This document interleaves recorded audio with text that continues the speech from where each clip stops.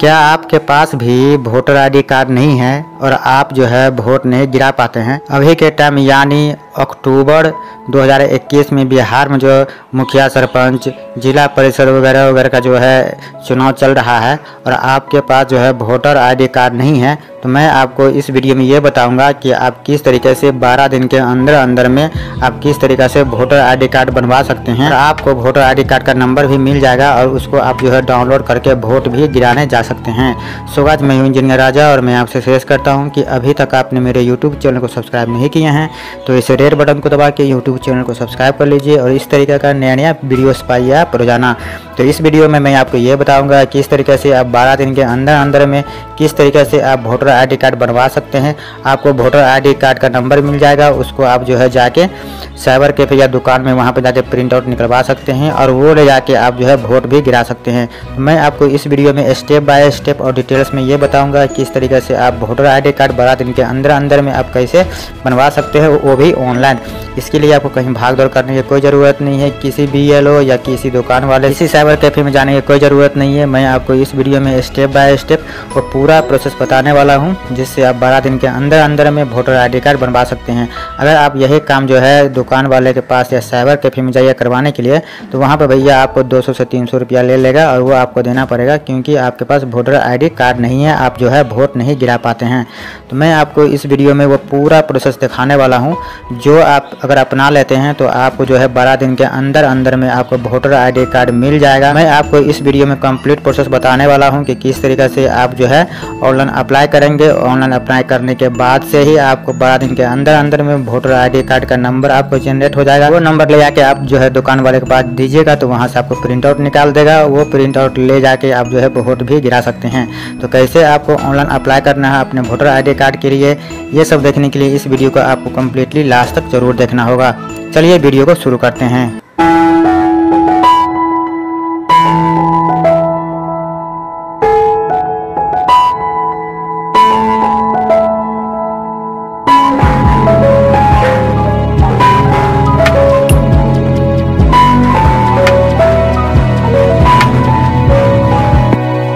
सबसे पहले क्या करना आपको प्ले स्टोरी में जाना है। और प्ले स्टोरी में जाने के बाद यहाँ पे आपको टाइपिंग कर देना है।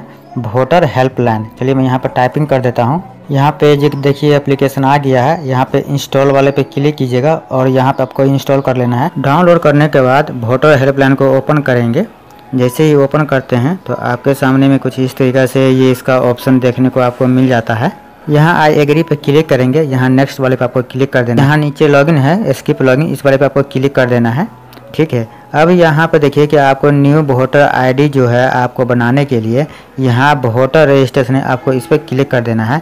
अब यहाँ पे सबसे ऊपर आपको एक ऑप्शन देखने को मिल रहा होगा new voter registration form six आपको इस पर क्लिक कर देना है।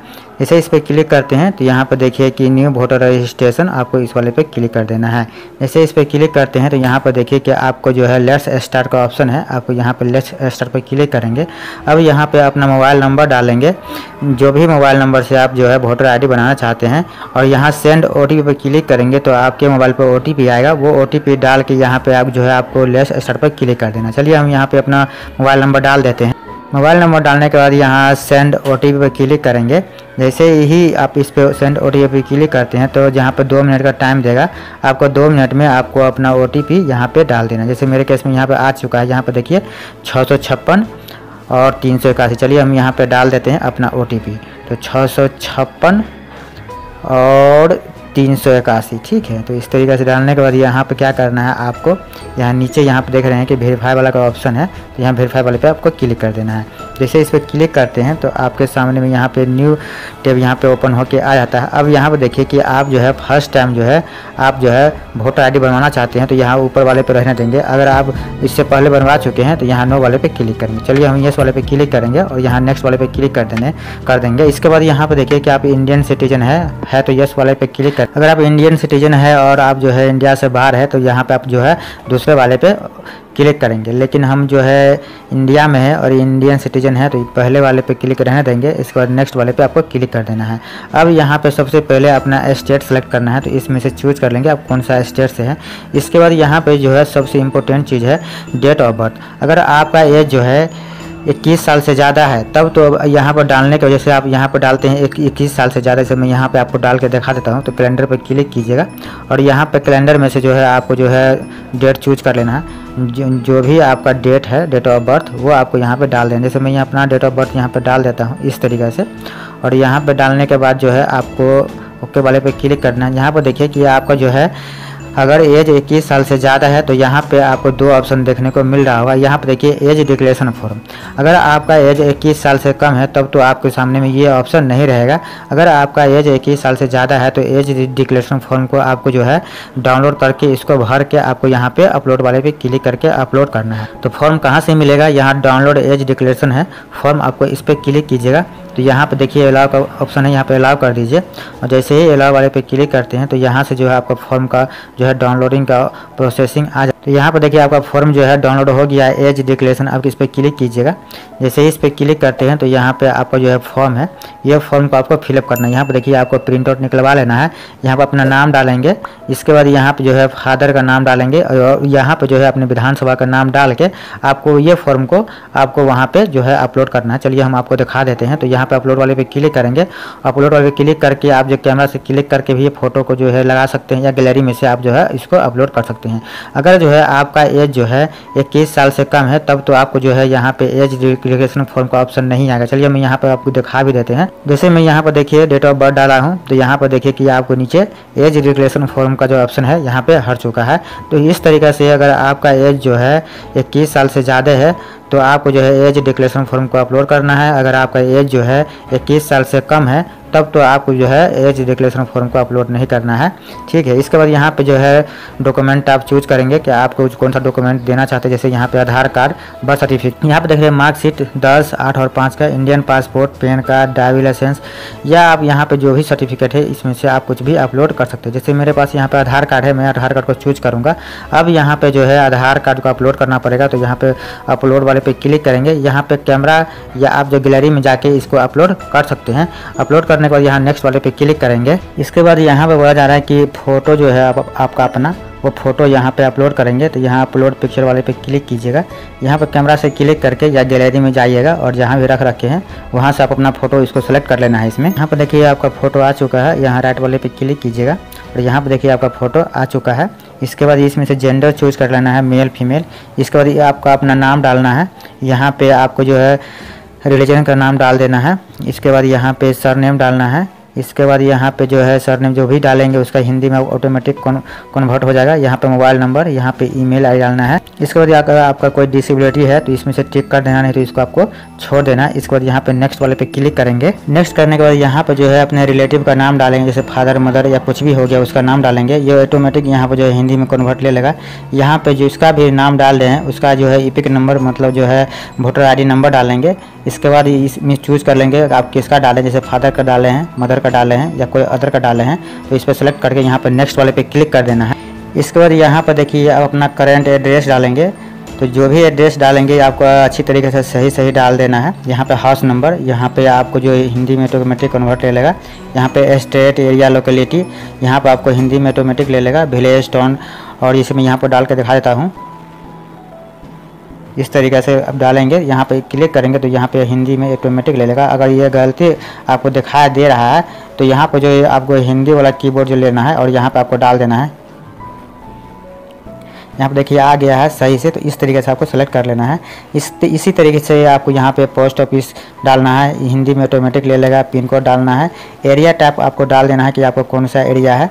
इस तरीके से आपको यहाँ पे एरिया टैप डालना है। स्टेट आपको इसमें से चूज़ कर लेना है कि आप कौन से स्टेट से हैं। यहाँ पे जैसे मैं डाला तो यहाँ पे स्टेट आ चुका है। इस तरीके से यहाँ पे अपना स्टेट चूज़ कर लेना है। यहाँ पे डिस्ट्रिक्ट आपको कौन सा डिस्ट्रिक्ट है? तो आपको अपना डिस्ट्रिक्ट इसमें से इस तरीके से सेलेक्ट कर लेना। है आपका डिस्ट्रिक्ट यहाँ पे ये आ जाएगा। इसके बाद असेंबली मतलब आपके विधानसभा यहाँ पे ऑटोमेटिक देखिए, हर लाके आ चुका है। इसके बाद जो है आपको नीचे आइएगा और यहाँ पे आपको जो है एड्रेस प्रूफ में बोलेगा तो क्या देना है आपको? तो आपको जो भी एड्रेस प्रूफ देना है, यहाँ पे देखिए तो इस पर क्लिक कीजिएगा और या इसमें आपको ढेर सारा एड्रेस प्रूफ मिल जाएगा। तो जो भी आपके पास एड्रेस है तो आपको यहाँ पे एड्रेस प्रूफ के तौर पर लगा देना। जैसे यहाँ पे Indian passport driving licence bank का passbook ration card income tax ration, बिजली का बिल वाटर का बिल आपको ढेर सारा इसमें मिल जाता है। तो जो भी है, आपको यहाँ पे सेलेक्ट कर लेना। जैसे मैं यहाँ पे लगाने वाला हूँ बैंक का स्टेटमेंट पासबुक का तो मैं इस पर क्लिक करूँगा और वो मैं आपको इसमें अटैच कर दूँगा। तो इसी तरीके से आपके पास जो भी हो, आपको यहाँ पर लगा देना है। यहाँ पे देखिए आपको जो है अपलोड करना है तो यहाँ आपको अपलोड वाले का ऑप्शन पर ठीक रहना देना है। और यहाँ पे अपलोड वाले पे क्लिक करेंगे, जहाँ भी आपका बैंक का पासबुक है, आपको अपलोड वाले पे क्लिक करके अपलोड कर देना है। इसके बाद यहाँ पे आपको नेक्स्ट वाले पे क्लिक कर देना है। अभी जो भी आप जो है एड्रेस फिलअप किए हैं, उस एड्रेस पे आप कब से रह रहे हैं, वो आपको डेट इसमें डाल देना है। तो चलिए मैं यहाँ पे जो डेट डाल देता हूँ तो इस तरीके से आपको डेट डाल देना नाम डालना है, यहाँ पे प्लेस कहाँ से है, वो डाल के यहाँ डन वाले पे क्लिक कर देना है। अब यहाँ पर देखिए कि आपको यहाँ पर पाँच मिनट का टाइम दिया जा रहा है तो आपको जो है पाँच मिनट में ये फॉर्म को अच्छी तरीके से चेक कर लेना है कि सब कुछ सही है या नहीं। एक बार रेड कर लेना है पाँच मिनट के अंदर अंदर में। ठीक है, इसके बाद अगर सब कुछ इसमें आपको सही है तो यहाँ कन्फर्म बार पे क्लिक कीजिएगा। और जैसे ही इस पर क्लिक करते हैं तो आपका जो है यहाँ पे देखिए थैंक यू का ऑप्शन लिखा के आ चुका है। और यहाँ पे जो है आपका ये फॉर्म जो है सक्सेसफुल्ली आपका जो है अपलोड हो चुका है। यहाँ पर देखिए कि थैंक यू का ऑप्शन आ चुका है और इसको जो है आप कॉपी कर लीजिए या स्क्रीनशॉट लेके रख लीजिए अपने रिकॉर्ड के लिए।